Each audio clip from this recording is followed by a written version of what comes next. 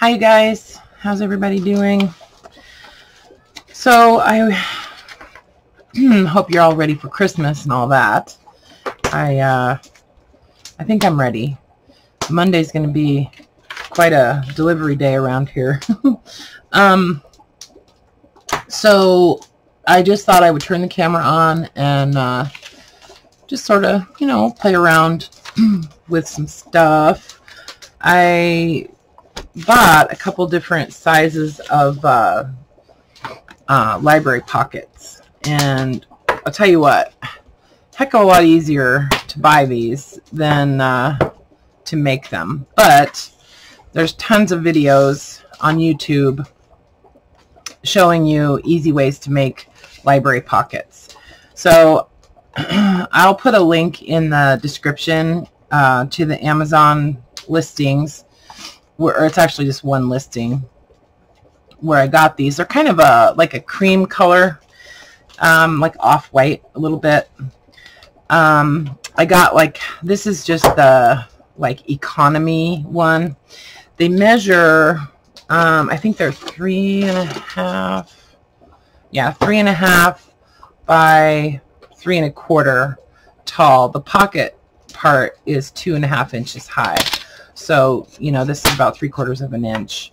And then, so this was the economy one. And then this one is just a deep pocket with a low back. They have a, they have another one that's a deep pocket with a high back. Um, those ones, I think, are self-adhesive though and I you know those are a lot more expensive the ones that are self-adhesive but you know if you want to drop the drop the cash and get the self-adhesive ones. They come with just a peel off back. Um, but I thought it might be cool to you know do some stuff on the back of them too. Anyway so these all together measure four and a half. So the pocket part is uh, three and three quarters. And then these ones are a little bit wider. These are No, I guess they're the same. They're the same width.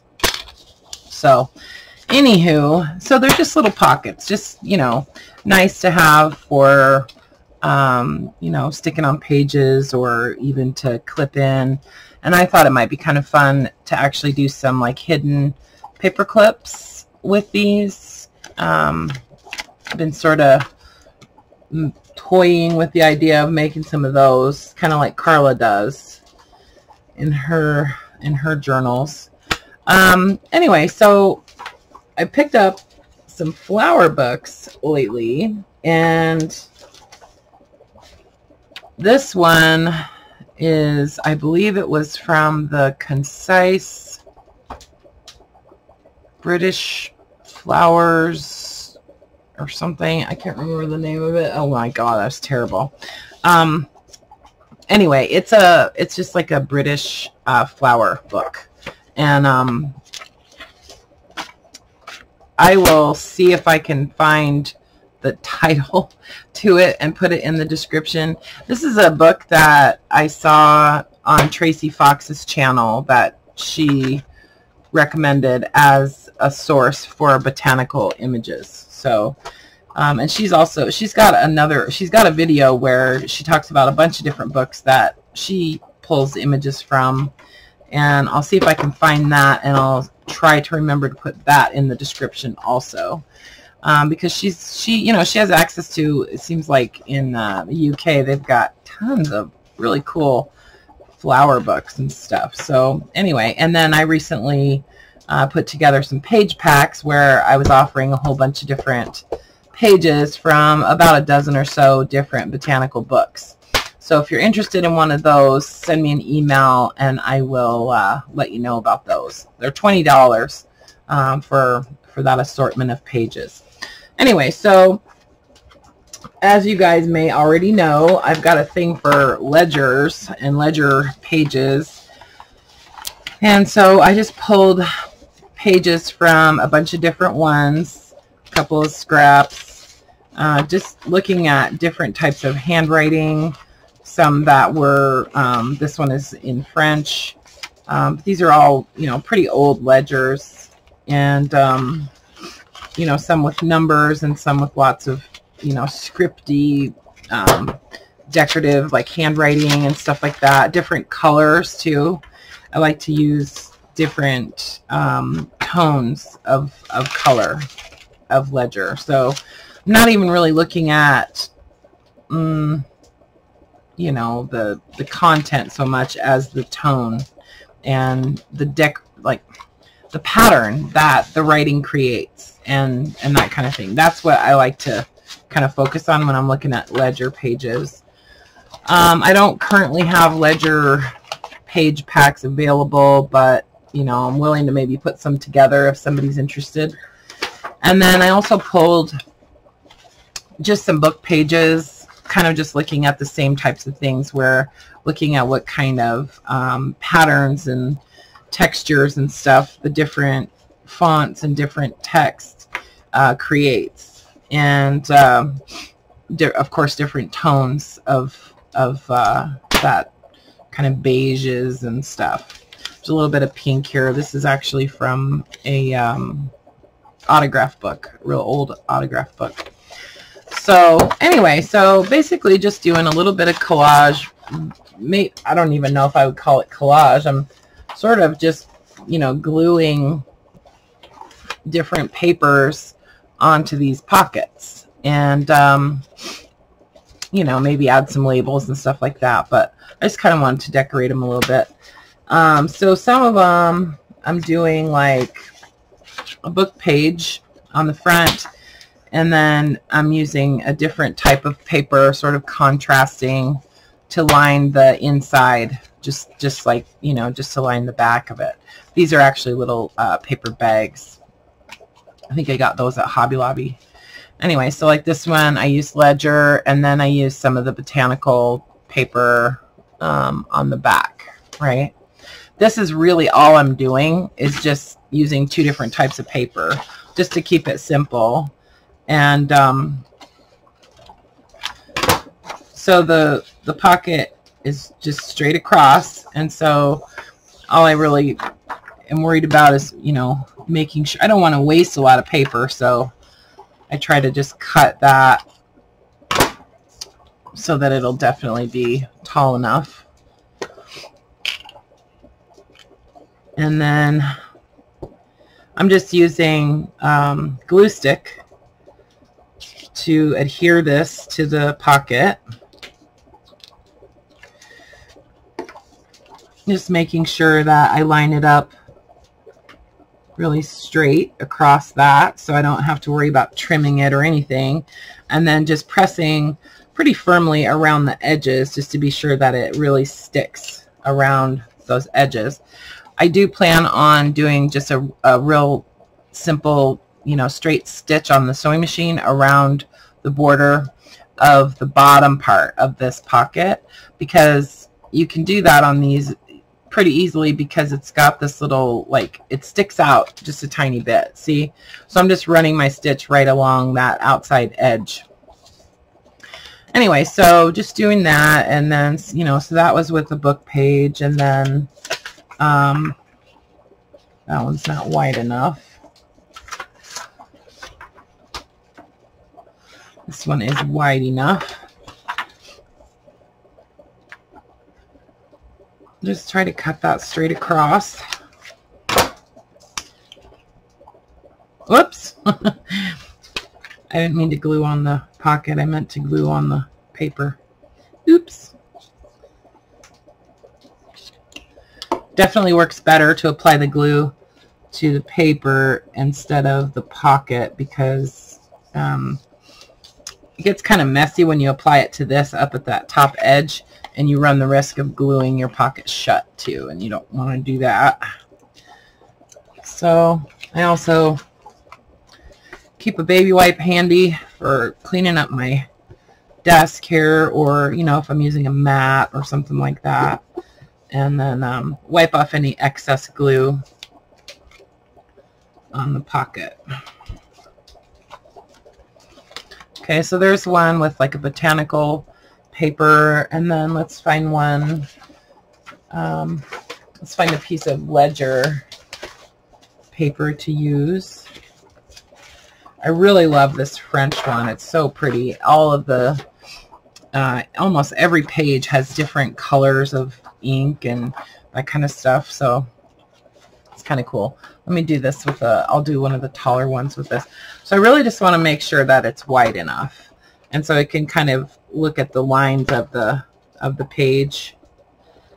And I know that if I cut straight along that line, it's going to be wide enough.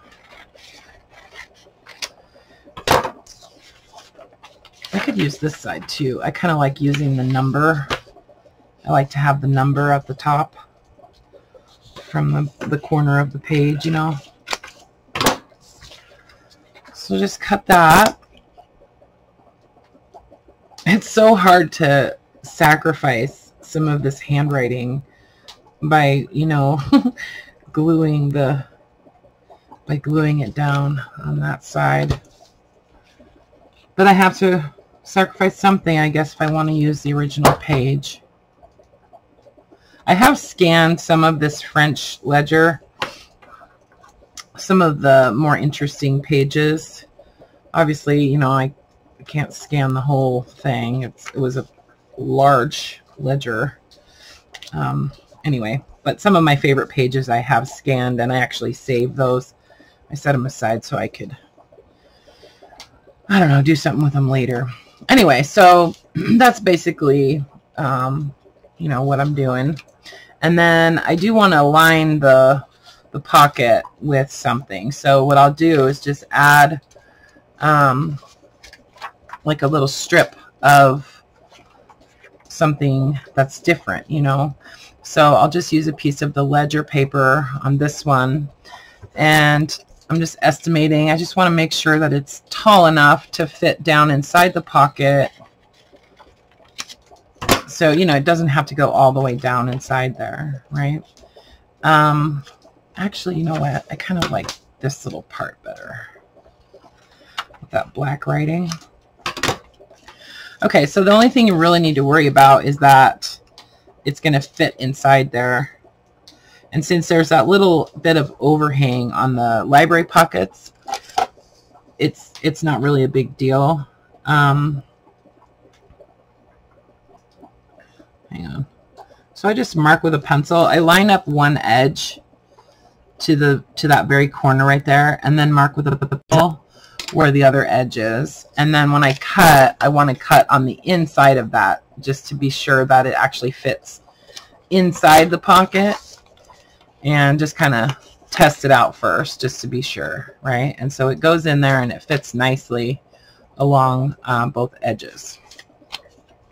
And then uh, again, apply the glue to this piece because you want it to be you want it to be adhered where it's inside the pocket too. You don't want that to be loose in there.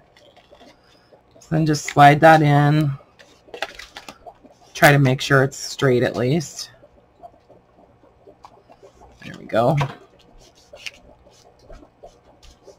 I'm just wiping off some of the excess glue. Let this dry. And then we'll trim them. So this one, I think I want to do some of the botanical paper. And I'm just checking to make sure it's wide enough. And I mean, you could just measure this too if you want. I mean, it doesn't have to be um, eyeballed. If you if you're the type of person that likes to measure and make sure on stuff, then definitely measure how wide you need this. Um,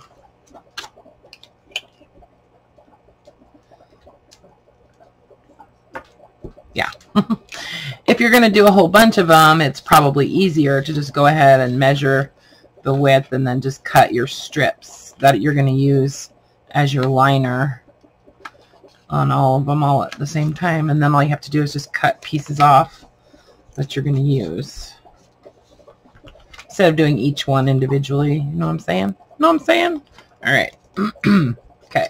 So that's two. And then on this one with the book page, um, I think I'll go ahead and use uh, some of the ledger paper again.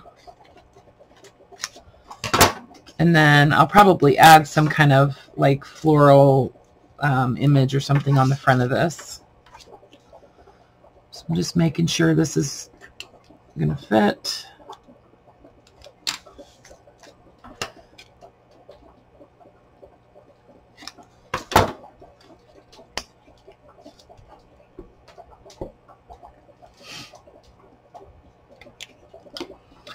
sometimes you have to be careful with the ledger papers when they have, you know, handwriting on them because you don't know what that ink is, like if it's uh, water soluble or not. And sometimes, sometimes it is. And um, when it gets wet, it will smear. So I try not to do too much um, wiping with the baby wipe on the actual front of the ledger that, you know, unless I want it to smear which sometimes it doesn't bother me if it's all smeared, right? Okay, so that's that. And then go back to the first one that I did. And I'm just going to trim along the sides. Trying not to cut the pocket open. But if you do accidentally cut the pocket open, it's not a big deal. You're going to stitch it closed anyways. I hate those scissors. I like them for cutting thread and stuff, but not really for this kind of stuff. And I left my other ones in my room that I really like to trim little tiny things with. Okay, so I cut along the sides and then along that curved back and then you can see that it's still you know it's um anyway the little part that sticks out. Anyway okay. And then this is the larger one. It's probably best to let let these absolutely dry before you start trimming them but if you don't care about glue on your scissors and it doesn't matter. See, it's hard to get into that little that little notch, which is why I try to at least make one side like flush with that.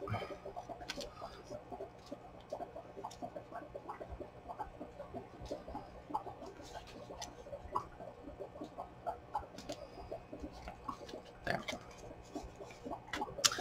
And the last one. And then I thought, you know, it'd be kind of cool to do some kind of like writing paper or something on the back. So if you wanted to use this just like as a uh, like a floating pocket, you'd be able to write on the back and it would be kind of decorative, you know, rather than just the back of that envelope like that you know, maybe just some grid paper or some coffee dyed paper or something like that. Okay. So those three pockets and then you know, I could just take like a little just a little strip of this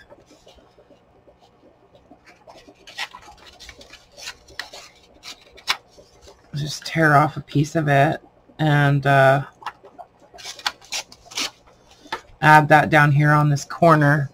I'm going to ink around the edges of it just to give it a little bit of distressing.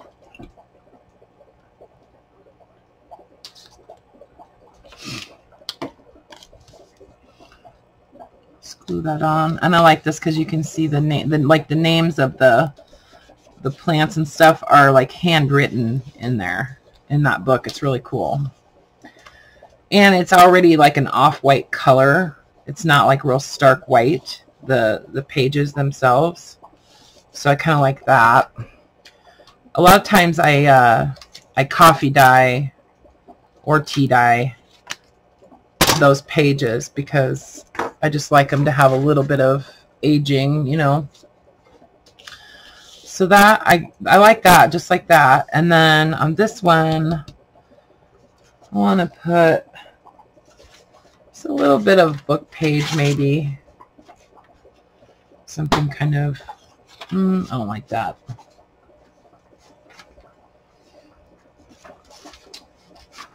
Oh, how about, nope. I don't like that either. I want more contrast. Okay, I like this one.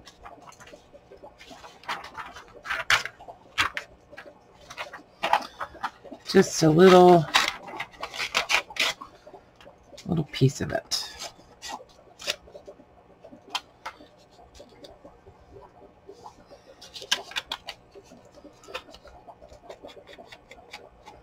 This old paper, it's hard to ink it sometimes.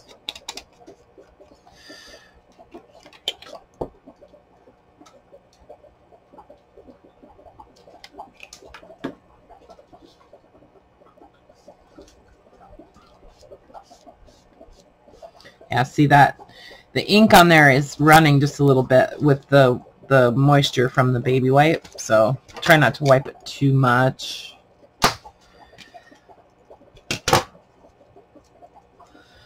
And then on this one, let's see. Let's just do another little piece of like a different ledger. Like this one with all these numbers.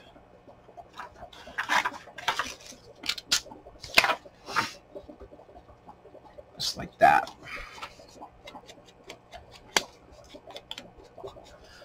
Just adding a little bit of interest, you know.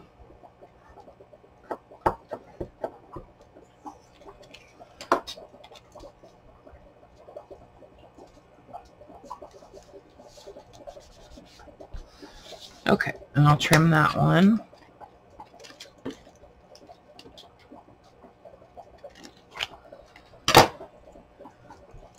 Okay, so we're doing uh, for Christmas the last seven, eight years or so since my older kids have been grown and they have families and stuff.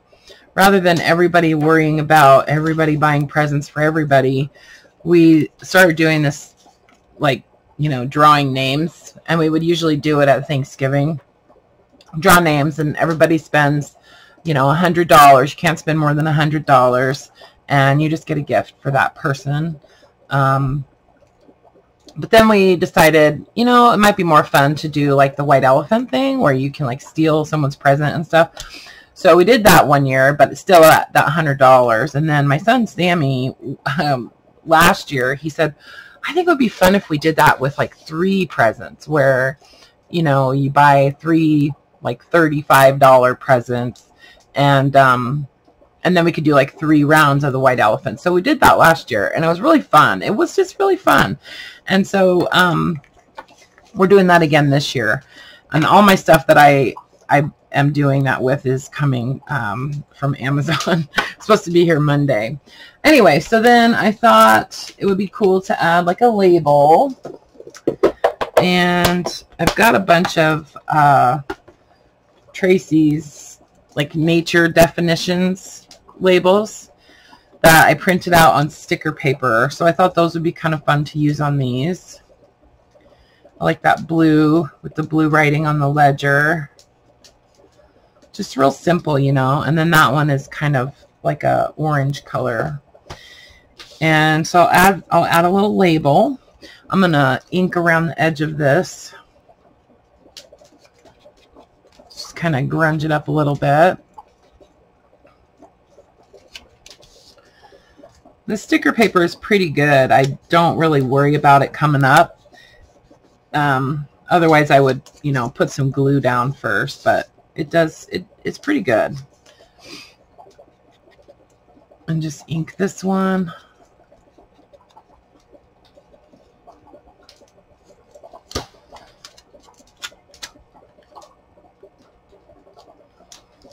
Oops, there we go. And the last one, I'm going to actually cut these corners so they're like mitered a little bit. I sort of like that better sometimes. I just re-inked my pad with the vintage photo and it's super juicy. Um, okay, so I'm just going to offset that a little bit. All right. And then I thought it would be kind of fun to do like a tab on at least one of them.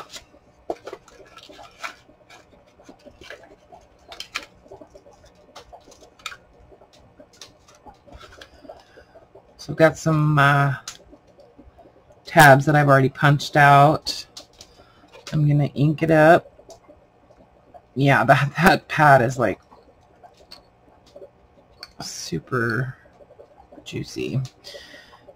And since I have come over to the dark side on the art glitter glue, I've decided that it is awesome for gluing on tabs.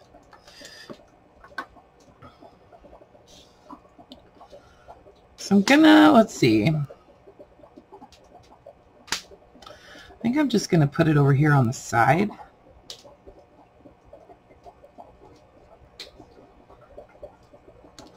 And I might add an eyelet on there or something. Maybe. I don't know.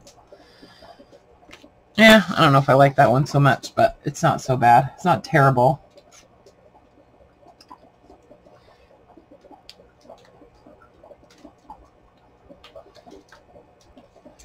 I'll do this one on the top.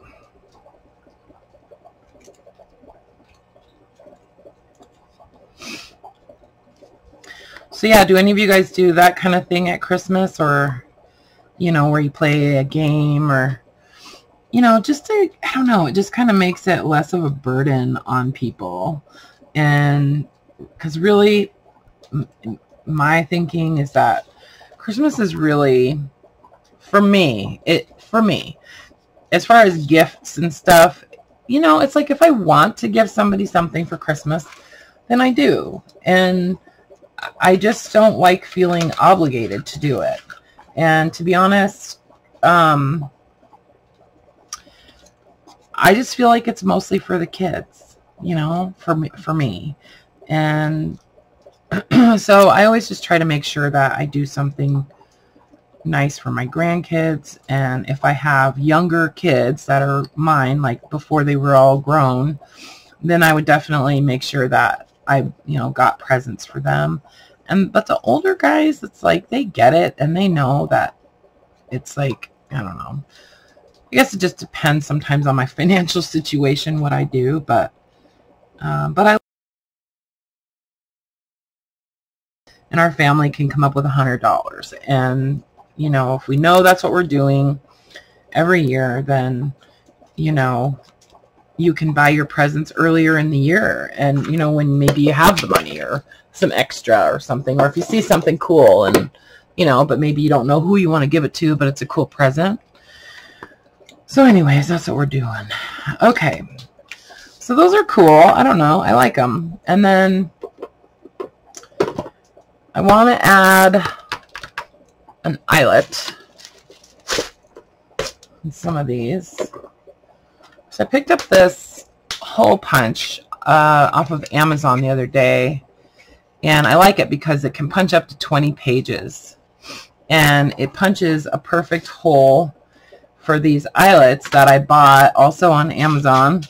And it was a thousand sets. So they're all kind of like a bronze color. And I think it was about $10 for all of these. So they were like a penny a piece, you know. And uh, they're a tiny bit larger than the ones that come, the We Are Memory Keepers ones. These are just a teeny bit bigger, but they're per this punches a perfect hole for those. so I'm just going to punch a hole in this um, tab so I can add an eyelet to it. But I'll show you what I'm talking about. It's hard to explain. Um, I still use the, I'm going to put this one off to the side. So there's this little metal piece, this little bit of like steel right there that you can see. That's where the hole punches. So if you're trying to line it up and get it exactly where you want the hole, use that as your guide. This was $5 and I thought that was pretty smashing deal. Um, but I still use the Crop-A-Dile to uh, to crimp these. I don't use the washer that comes with them.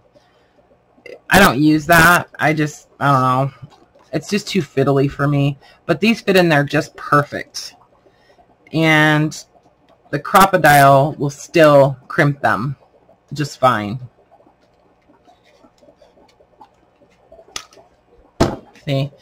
And I like that it gives you a little bit bigger hole to, to work with. So you can put fabric through them or whatever.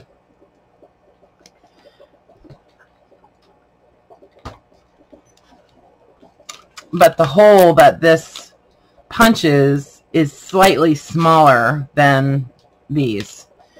It works perfect for the We Are Memory Keepers grommets or eyelets. It works perfect for those, but if if you get some of these that are, you know, not made by them, they tend to be slightly larger. And also the ones that you can buy at like Joann's, they have a set of eyelets that are in the sewing notions. And those are slightly larger too, but but you can still smash them with the Crop-A-Dile. So, so that's those, just with the eyelets added. And then, I mean, you could do whatever on these, right? You could add washi tape and masking tape or glue some fabric on them or whatever. Just decorate them however you want. You could add some cheesecloth and just add a really pretty picture or something. I am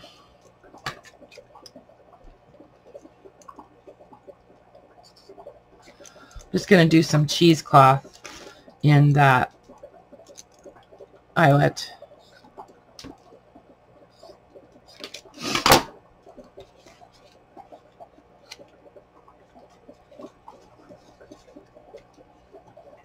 I'm going to tie it so it sort of goes off on both sides like that. And I don't worry about tying it twice. It, it'll stay just fine. And then, let's see. Oh, that's a pretty color. So this is some uh, sari silk that's like a, um, a chiffon type of uh, sari. And so it's very like translucent. It's like really, really thin and I think it's just beautiful. And I get that from a seller on Etsy and I think it's Julia L. Crafts. I just got three more rolls of it from her. And I will, boy, I need to start making a list of all the stuff I'm supposed to link. I will link her shop in the description because and I think it I think it was 9.99 or 9.95, um, and you get about 70 yards of that silk, and it's just cool. It's just really really cool. It's neat, like if you iron it. If you got one of the um, the journals that I just had on um, on Etsy, a lot of the ties, the the larger ones, not the minis, but a lot of the ties that I did on those, I used this and um, you can dye it with any kind of ink, distress ink, you know, um, archival ink, any ink really will you can use to dye those. So, so you can just, you know, just get the white and then you can coffee dye it or, you know, do whatever color you want. So that, oh, whoops, one more. Hold on, hold the phone. Let's, well, I'm just going to do something like this in, in this other one too. I was thinking it might be kind of cool to do um, like a charm or something, but we don't need to do that right now. I just don't have that stuff pulled out, so. But on some of them, I would probably add a charm, like on a piece of ball chain or even just with the jump ring or something. So, and the other thing that's kind of cool about that stuff is that it tears real easy. So I like to sometimes tear it into two pieces, but then still loop both of them through.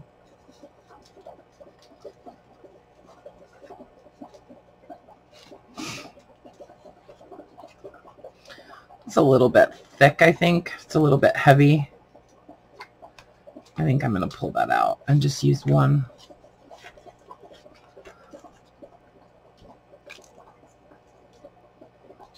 We'll just use one and then I will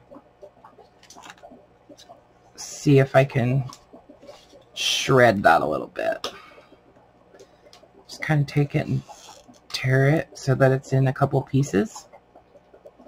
Let's tear it up to up to the knot there. Okay. So there's those.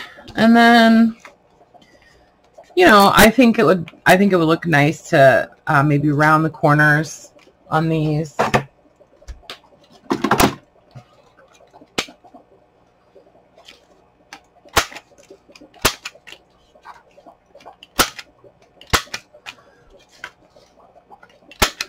And I'm not, oh, I forgot, I was, I should have probably stitched these before I put this on there, but, um, and then I'm just going to run a real, you know, thin little line of stitching on the sewing machine around that edge. See, just like right along the very edge, just a straight stitch.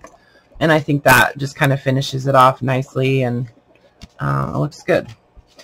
So I will do that off camera, but um, I'll take a picture so I can post that as the um, the thumbnail on the video. So yeah, um, and then just ink them up, of course. Got to ink them. You don't have to, but. So I'm working on some journals. I am going to take a few days off, I think, maybe. I don't know. I don't know. I love making journals. That's just, I'm just doing what I love to do. So, you know, if I feel like taking some time off, I'm going to. If I don't, then I won't. But, so anyways, I'm doing some, uh, some ring bound journals with, you know, mostly a botanical type of theme, but with some kind of like children's uh, elements too. So I'm going to have those, you know, on my table. And then also I got some, uh, I've had these covers for quite a while. These uh, How and Why books. And so I just, you know, kind of prep those to make into some like large junk journals. So there's five of them all together. It was a whole set. So that's what I'm working on. And then when January comes around, I'll probably make some minis again.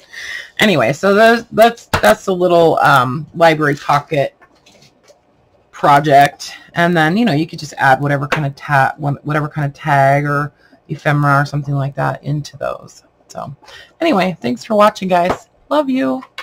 Bye for now.